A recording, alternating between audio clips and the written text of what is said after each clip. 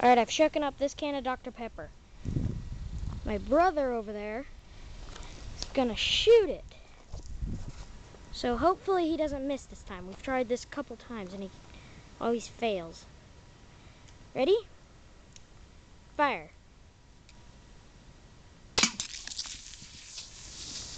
Ah, it's having a spaz attack. Well, that was fun. Don't drink that.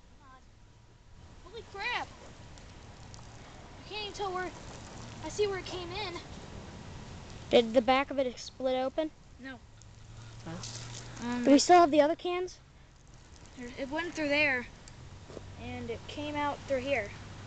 This has happened multiple times, and they've always exploded. Oh, well, oh, that was neat. Landed right over. Well, bye.